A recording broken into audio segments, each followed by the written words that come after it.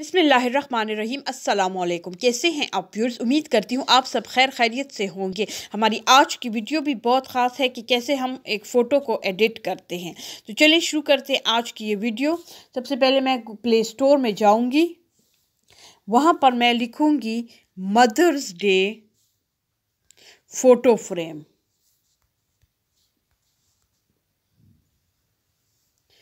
Mother's Day photo frame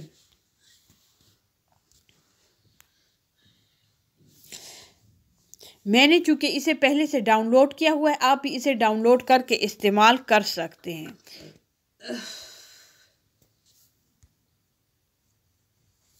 मैंने इस पर क्लिक किया। मैंने अलाउ कर दिया सारी ऑप्शंस को, ठीक है? फिर फ़ोटो फ्रेम पे क्लिक किया। इसमें मुख्तलिफ़ फ़ोटो फ्रेम्स हैं, ठीक है? आपको इसमें जौन सा पसंद हो।